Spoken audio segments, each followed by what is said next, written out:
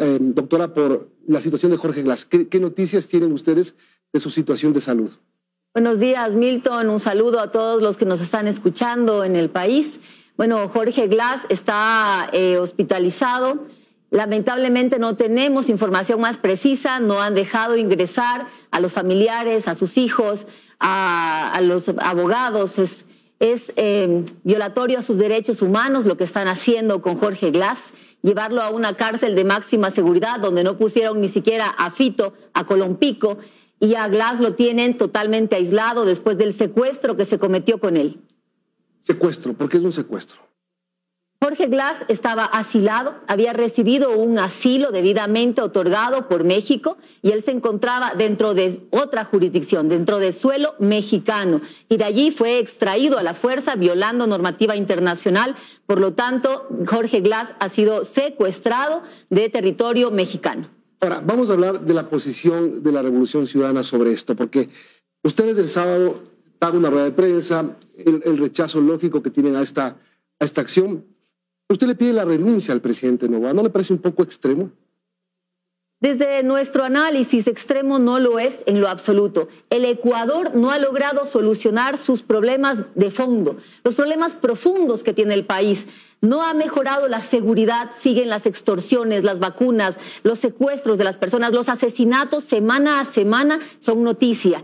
La pobreza sigue incrementándose, no hay empleo, aumenta la migración, no hay medicina en los hospitales, se reduce el presupuesto para que nuestros hijos ingresen a las universidades. Y dentro de, dentro de este contexto, agravamos aún más la situación del país, introduciéndonos en un conflicto internacional con México, una economía con la que tenemos una relación comercial de alrededor de mil millones de dólares entre eh, materia, materia prima y, bienes, ¿no?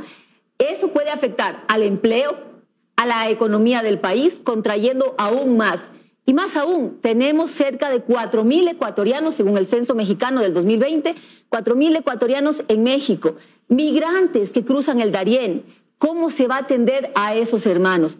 Un país que requiere paz y que su presidente profundiza las situaciones de conflicto, ya no solamente interno, sino a nivel internacional, no puede tener la capacidad de conducir a los O sea, tiene que irse.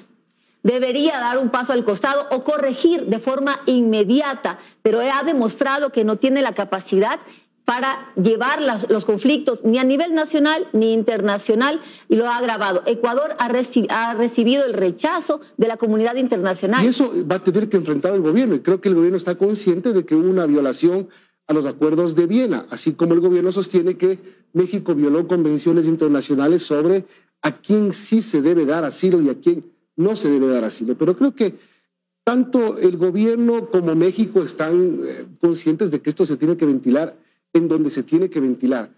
Ahora, parecería que Rafael Correa es abogado de López Obrador. ¿Usted está viendo lo que está haciendo Rafael Correa pidiendo al mundo que sancionen al Ecuador? ¿No le parece? Miremos lo que dijo el presidente, solamente para poner en contexto, porque ya hubo un pronunciamiento del presidente Novo ayer, con una carta que expresó varias cosas al país, entre la que dice políticos caducos que han solicitado a México que nos declare la guerra y a la comunidad internacional que nos sancione económicamente, incurriendo en una traición a la patria nunca antes vista. Se refiere a Rafael Correa, sin duda. A ver, aquí hay dos puntos, ¿no? Primero, el gobierno nacional hace referencia al acuerdo de Caracas sobre el otorgamiento de asilos y dice que México ha violado esto. El mismo acuerdo de Caracas, si leen un poquito más abajo, dice que es el país asilante quien debe calificar si procede o no. Así que México en ese caso no ha violado el acuerdo de Caracas. No, no, Si lo hubiera hecho, esto debió haberse resuelto a través del diálogo bilateral entre los dos países, pero no, se, lo, que ahorita, se hace... Luisa, el gobierno ecuatoriano está fregado, porque seguramente hoy en la OEA habrá una condena, que seguramente a México le irá mejor que a Ecuador en la, en la Corte Internacional de Justicia. Yo lo que le estoy preguntando es otra cosa. No hace falta que un ecuatoriano pida que le sancionen a su país. Mire, el presidente Correa no ha pedido que sancionen al Ecuador. Lo que, hace, lo que hace el presidente Correa es exponer cómo se manejan las relaciones internacionales, cuál es el procedimiento que normalmente toman los países y que el pedir sanciones es un mecanismo para frenar que se venga una ola de invasiones a territorios extranjeros a nivel mundial. Es una exposición de cómo se maneja el derecho internacional público, más no es un pedido de que se sancione al Ecuador. No, el, expresidente Correa ha pedido claramente que se sancione al Ecuador y ha pedido claramente que México tiene que acudir a toda instancia internacional para que, para que, para que lo sancionen como que si México no supiera lo que tiene que hacer. En lo absoluto, el presidente Correa hace una exposición de cómo se procede en estos casos, pero aquí el punto de fondo es que por un problema eh, de no saber manejar las relaciones internacionales, el presidente Novoa introduce al Ecuador en un conflicto internacional que prácticamente es una declaración de guerra a México, que si México quisiera podría eh, atacar de forma bélica al Ecuador. El invadir una sede, una sede diplomática, es una declaración de guerra. Una guerra. Eso es lo que podría traer como consecuencia el hecho efectuado por el gobierno nacional, por la decisión del presidente Novoa. En palabras de la señora Sommerfeld,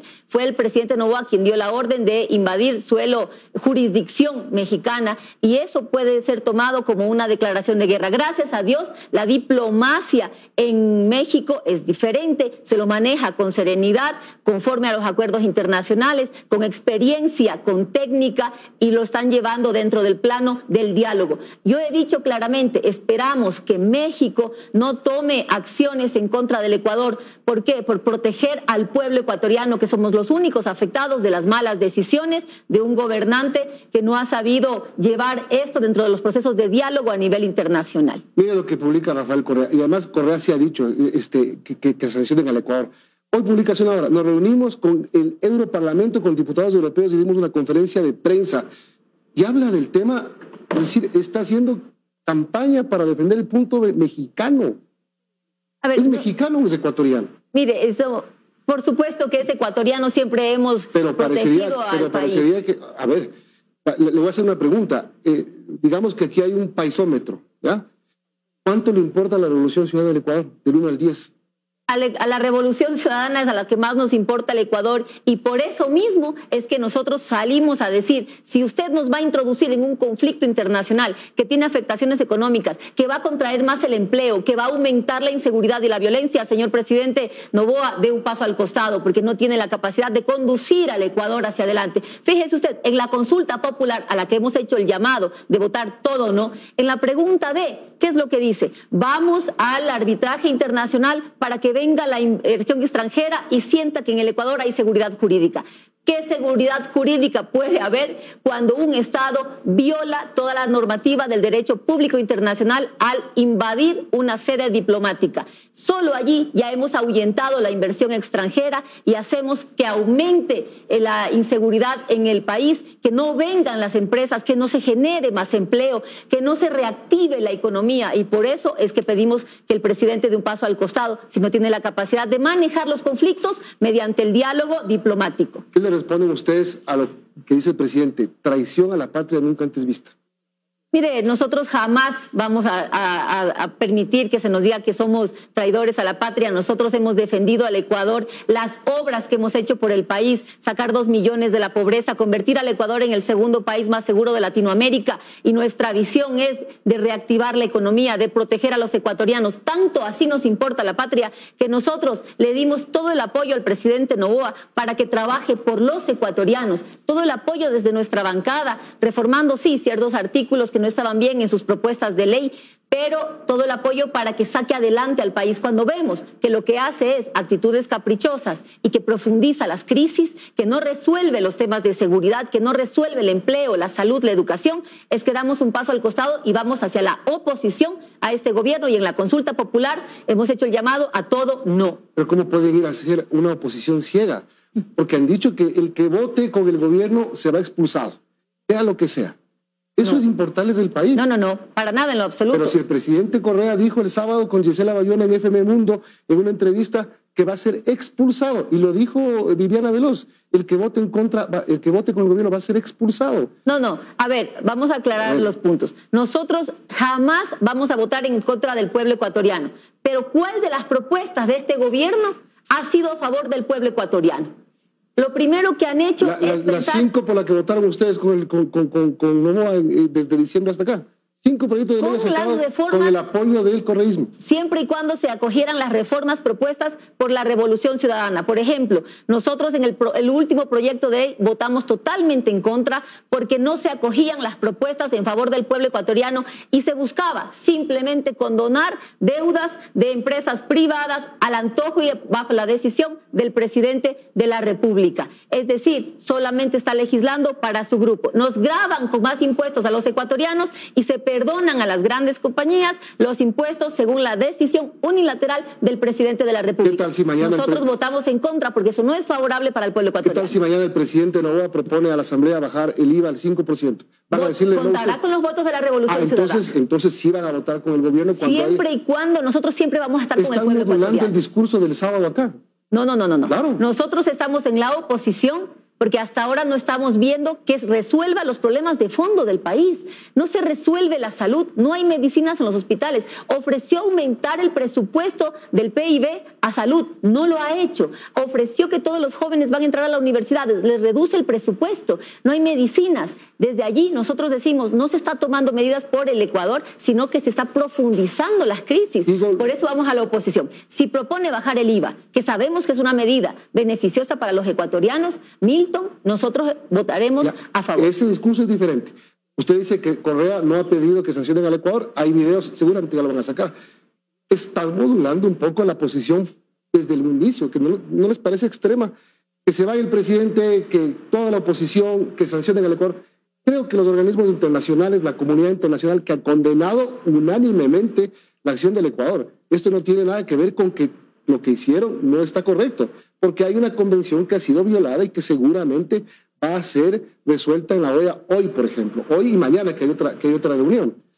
no necesita abogados México, menos abogados ecuatorianos. Mire, yo he dicho, he dicho claramente en todas mis expresiones públicas, he dicho, espero Dios mediante, que México no sancione a mi país, porque ya es suficiente la crisis económica que tenemos, los conflictos internos, como para que el presidente Novoa nos, nos, suma en un conflicto internacional. Y lo repito, lo que hizo con la Embajada de México es una declaración de guerra. Con esto se podría armar un conflicto armado entre Ecuador y México. A Dios gracias, México toma con, con mesura eh, las decisiones, con análisis, con profundidad, con expertise también dentro de su equipo y no ha tomado una decisión bélica en contra del Ecuador. Pero sí nos preocupa las medidas económicas que se puedan tomar, más aún cuando